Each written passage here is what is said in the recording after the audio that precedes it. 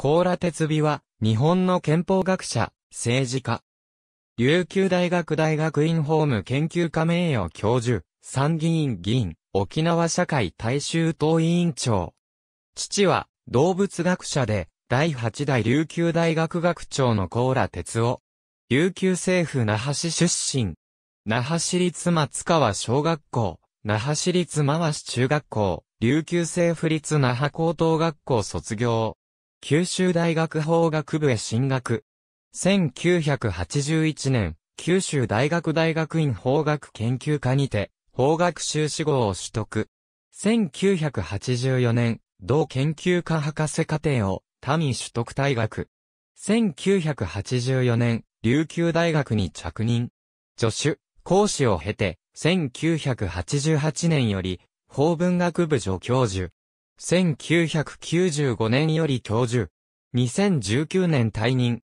2019年1月、沖縄社会大衆党元委員長の糸数恵子の後継として、同年7月に行われる第25回参議院議員通常選挙にて、沖縄県選挙区より立候補することを表明。立候補は、沖縄社大党の要請によるもので、コーラは、その後同党の党籍を取得した。5月8日、那覇市内で正式に出馬表明を行った。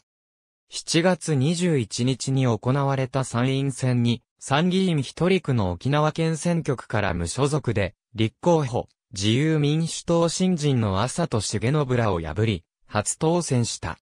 2020年7月23日、2020年、沖縄県議会議員選挙で落選し委員長辞任を表明した大城一馬の公認に内定した。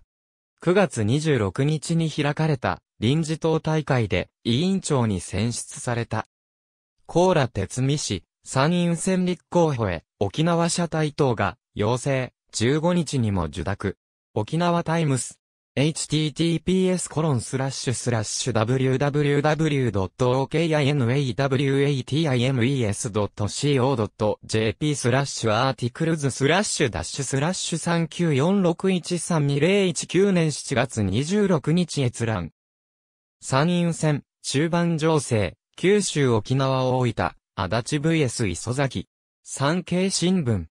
Https コロンスラッシュスラッシュ www.sankei.com スラッシュ politics スラッシュニューススラッシュ190711スラッシュ PLT1907110011 ダッシュ N2.html2019 年7月26日閲覧。http://www.miyakyomainichi.com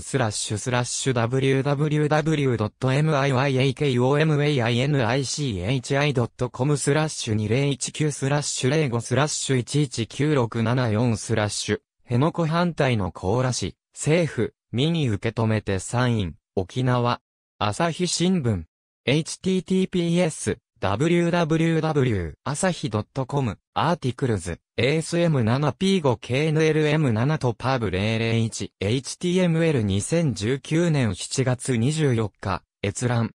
新委員長に宝鉄美相談役が内定。沖縄社会大衆党。2020年9月7日閲覧。社対党委員長に高良鉄美参院議員決闘の理念を実現。琉球新報。2020年9月27日閲覧。朝日新聞、人乱情年史ツイッターハット、自主時代を切り開く金正恩委員長の誕生を祝賀して、チュチェ思想新春セミナー沖縄で開催、朝鮮新報2020点に1。ありがとうございます。